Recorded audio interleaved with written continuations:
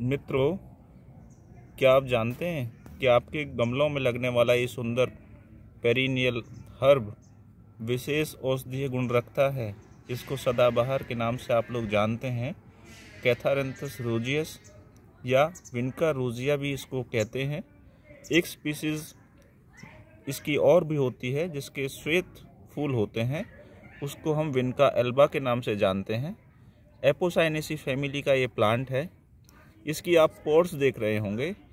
Pods में जो बीज होते हैं, उसके माध्यम से इसका प्रोपेगेशन बहुत आसानी से हो जाता है और इसका पंचांग मेडिसिनल प्रॉपर्टीज़ रखता है होल प्लांट यूज़ किया जाता है।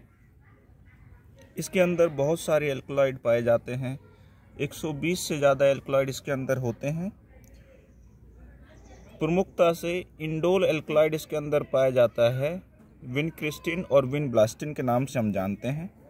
इसके अंदर behenic acid lauric acid linoleic palmitic and stearic acid पाया जाता है। विन क्रिस्टिन और विन ब्लास्टिन जो दो होते हैं एंटी ट्यूमर एक्टिविटी शो करते हैं।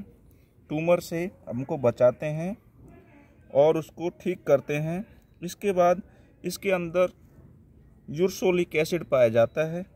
यूरसोलिक एसिड मुख्यतः इन्फ्लामेशन को कम करने और अपनी एंटीऑक्सीडेंट एक्टिविटी के लिए जाना जाता है।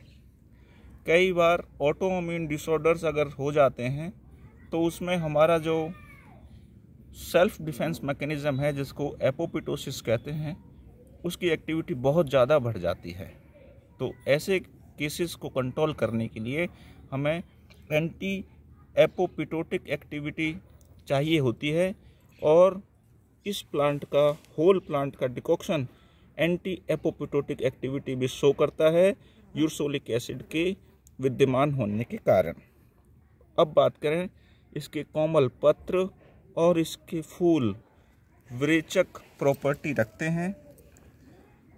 इसके बाद इसके जो प्रॉपर्टीज़ है, इसमें एस्ट्रिंजेंट प्रॉपर्टी पाई जाती है क्योंकि इसके अंदर फ्लोबेटेनिन्स टेनिन्स भी होते हैं।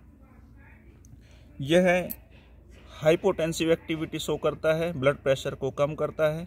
आप देखेंगे कि आजकल हमारे दैनिक जीवन में मानसिक तनाव, नींद का ना आना डायबिटीज़ और ब्लड प्रेशर की समस्या बहुत कॉमन है। चार समस्याओं का एक निराकरण सिंपल इसका फांट इसके पत्र और इसके फूल का फांट बनाइए। चार समस्याओं को ये आसानी से निराकरण करता है, इसको आप ले सकते हैं। देखा यह गया है कि लाल फूल वाला जो कैथारेंथस रोजियस है, इसकी पोटेंसी एंटी डायबिटिक और एंटी हाइपरटेंसिव पोटेंसी श्वेत से ज़्यादा होती है। यह बहुत सेफ़ है, इसका पंचांग बनाकर हमें सुखाकर, पाउडर बनाकर रखना चाहिए। होल प्लांट का हम यूज़ कर सकते हैं।